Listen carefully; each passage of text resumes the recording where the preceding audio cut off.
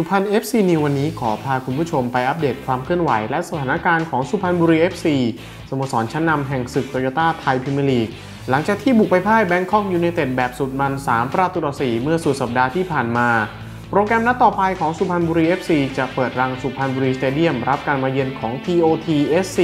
ในวันพุธที่ 28 ตุลาคมนี้เวลา 18นาฬิกาเป็นต้นไป สภาพทีมและความพร้อมล่าสุดของสุพรรณบุรี ภายใต้การคุมทัพของโค้ชโย่ง วรวุฒิศรีมะคะ จะไม่สามารถใช้งานวัฒนศัพท์เจริญศรีมิดฟิลด์ตัวรับได้จากการติดโทษแบนนอกจากนี้ยังหมดสิทธิ์ใช้งานนภัทรธรรมรงสุปกรณ์กองหน้าตัวโจ๊กเกอร์ที่ได้รับบาดเจ็บจนต้องถูกเปลี่ยนตัวออกในเกมล่าสุดด้วย รวมไปถึงชาคริตบัวทอง ปีกร่างเล็กที่เจ็บอยู่แล้วก่อนหน้านี้ นอกจากนี้ยังต้องรอเช็คสภาพร่างกายของคาร์เมโลกอนซาเลสว่าจะพร้อมลงสนามหรือไม่ อย่างไรก็ตามข่าวดีของทีมคือการได้สุมัญญาปุริสายกลับมามีชื่อในทีมอีกครั้ง มากันที่ความพร้อมของทีมเยือน TOTSC ของเทเวศกมลศิลป์เกมนี้จะไม่สามารถใช้งานปาการหลังอย่างสกลวัฒสกลล่าได้ เนื่องจากติดสัญญายืมตัวจากสุพรรณบุรี FC ส่วนผู้เล่นรายอื่นพร้อมลงสนามนำโดยแกนหลักอย่างมีโชคมหาสรานุกูล อีจุนกิทาคาฮิโร่คาวามุระพานุพลพลสารวมไปถึงตินภพเมฆพัชรกุล เรามาฟังบทสัมภาษณ์ของสถาพรวาจาขำผู้ช่วยโค้ชของสุพรรณบุรี FC เกี่ยวกับความพร้อมของช้างศึกยุทธาถีก่อนเจอกับ TOTSC ในวันพุธนี้กันเลยครับ สภาพความพร้อมทีมตอนนี้เป็นไงบ้างครับหลังจากที่ 2 เกมล่าสุดนะครับเราเราแพ้ราชนาวีในบ้านแล้วก็เเกมเมื่อวานเราไปแพ้ให้กับดียูมานะครับสภาพทีมตัวนี้ก็น่าจะส่งผลทางด้านจิตใจพอสมควรนะครับ แต่ว่า กับเกมนี้นะครับที่ที่ที่เล่นในบ้านนะครับที่กลับมาเล่นในบ้านอีกครั้งเจอ TOT นะครับเราเราไม่มีเหตุผลอื่นนะครับนอกจากสามแต้มเพราะฉะนั้นเกมนี้เชื่อว่าทุกทุกๆคนเนี่ยจะต้องเพิ่มความมุ่งมั่นเป็นพิเศษนะครับสำหรับ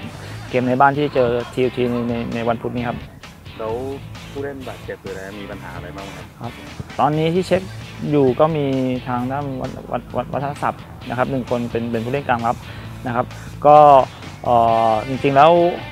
เราเราเราก็มีกลางอยู่อีกหลายคนนะครับมี 3 4 คนนะครับเดี๋ยวว่าทั้งนั้นทั้งนี้นั้นเราจะเช็คนะครับว่าตัวผู้เล่นที่จะลงทำหน้าที่แทนต้นนะครับ ว่าใครจะมีความพร้อมมากที่สุดแล้วทางด้านคาเมโลคามิโลหน้าแมตช์นี้คิดว่าน่าน่าน่าจะยังไม่พร้อมนะครับ แต่ว่า ณตอนนี้เขาก็เริ่มกลับมาซ้อมเบาๆกับทีมได้แล้วนะครับ แต่ว่าแมตช์แมตช์กับ PLG คงคงจะยังไม่พร้อม คาดว่าแมตช์วันเจอตัวทีจะเป็นยังไงบ้างเอ่ออย่างที่บอกนะครับคือเราเราไม่มีช้อยอื่นนะครับสำหรับเกมที่จะจะจะเจอกับ PLG ในบ้านนะครับ เพราะว่าเราแพ้มา2เกมครับไม่ไม่มีทางเลือกอื่นทั้งนั้นนะครับเราจะจะจะจะต้องจัดตัวผู้เล่นนะครับที่ดีที่สุดนะครับลง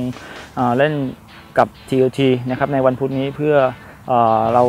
ต้องเก็บ3 3แต้มนะครับ เพราะว่าตอนนี้เราห่างจากอันดับ 3 6 แต้มนะครับ เพราะฉะนั้นเราเก็บได้ประมาณ2อสเกมติดกัน เราก็คิดว่าเราน่าจะขึ้นไปอยู่เกาะกลุ่มหัวตารางได้นะครับสามแต้มนะครับแมตช์นี้น่าจะสร้างความนะครับมั่นใจนะครับให้ให้ให้ให้กับตัวผู้เล่นนะครับที่จะไปเยือนแมตช์ราชบุรีในแมตช์หน้าด้วย อย่าลืมนะครับมาช่วยกันปลดล็อกให้กับสุพรรณบุรี FC ในเกมรับการมาเยือนของ TOTSC ณสุพรรณบุรีสเตเดียมายทอดสดทาง True Sport 2 ตั้งแต่เวลา 18นาฬิกาเป็นต้นไป เลือสุพรรณเราไม่ทิ้งกันสุพรรณบุรี FC สู้